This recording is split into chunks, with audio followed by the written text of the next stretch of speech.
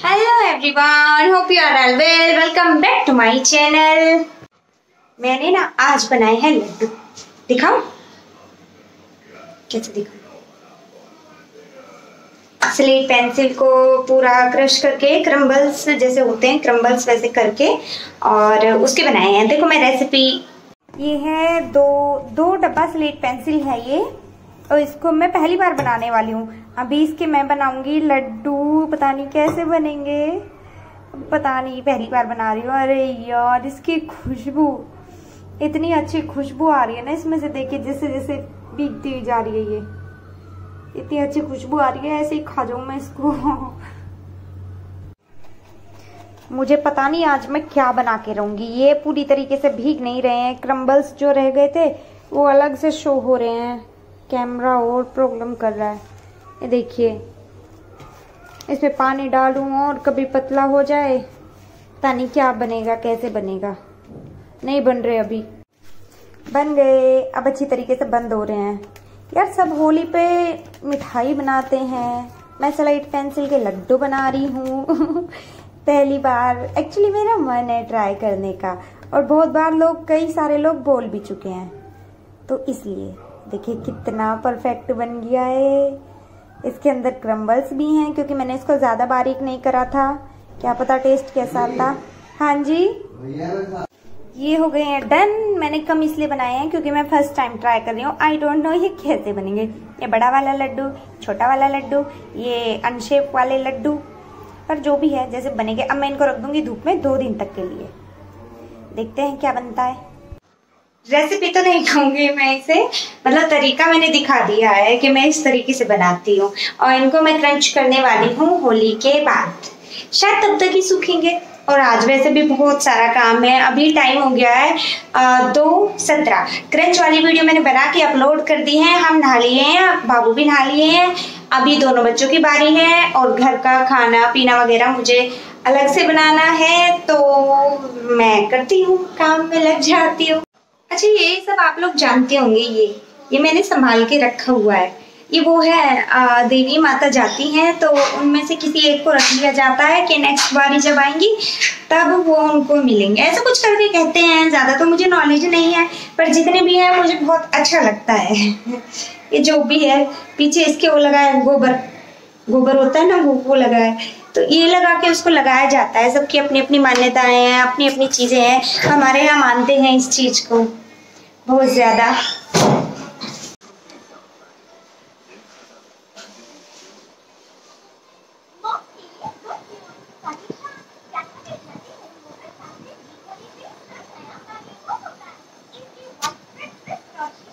Baby को ले रहे Laddu?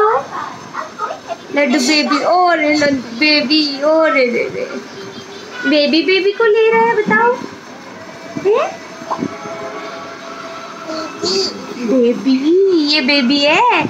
आप बड़े हो, है ना? आप बड़े हो, ये बेबी है। बेबी। लड्डू ने और कनिकन दोनों नहाई नहाई कर लिया है और फिर से मैं वैसी हो गई हूँ जिससे मैं नहाई नहाई करने से पहले थी। दोनों को तैयार करने में, सारा काम करने में। लड्डू।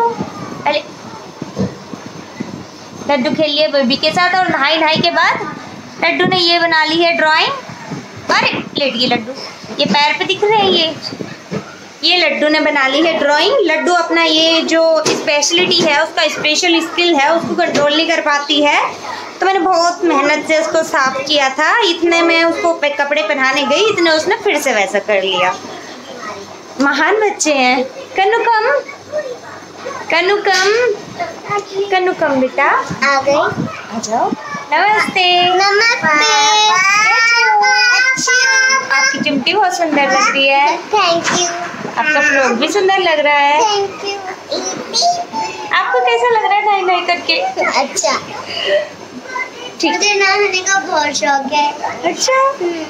अच्छी नहाने का थोड़ी शौक है पानी से खेलने का शौक है। नहीं। हाँ।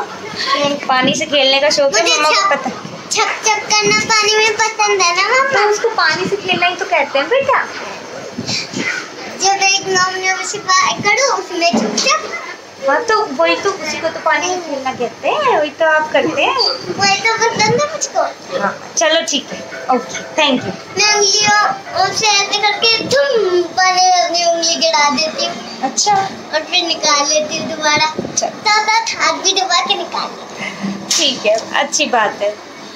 तब लड्डू सच्ची में रोती है। तब लड्डू ऐसी लगती है। रो के दिखाओ अरे रे रे वीडियो के सामने लड़का सो रहा बेबी क्या कह रहे हो? आपको क्या चाहिए लड्डू? लड्डू आपको क्या चाहिए बेटा की आँखों में आँसू है? आँसू चमक रहे हैं आँखों में। We are going outside again नमस्ते। चप्पल लेके हमेशा की तरह कनिका लड्डू की चप्पल लेके ये लड्डू। नींद में थी उठा के लाए बाबू? पता है आपको बोल रहे थे कि आपका हस्बैंड बहुत स्ट्रिक्ट है ऐसे करके बोल रहे थे। अभी आ गए हैं हम लोग घर लेकिन आज हम घर आते आते लेट हो गए हैं। और आज के लिए शूट करूँगी मैं इतना ही। सेवन फिफ्टी फाइव हो रखे हैं oh आठ बजे से पाँच मिनट पहले लेट हो जाएगी वीडियो. बच्चे खेल रहे हैं आपस में उन्हें डिस्टर्ब करना अच्छा नहीं है क्योंकि मुझे अभी खाना बनाना है खाना सब कुछ मैंने रेडी कर रखा है और बस खाना बनाना है।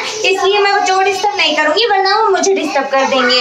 इसलिए आज के लिए शूट करूँगी मैं इतना ही। सबको bye good night thank you so much for your valuable time valuable comment your blessings your compliments thank you so so much thank you so much wishing you are very happy Holi in advance कल के लिए संभाल के रख लेना, कल निकाल लेना।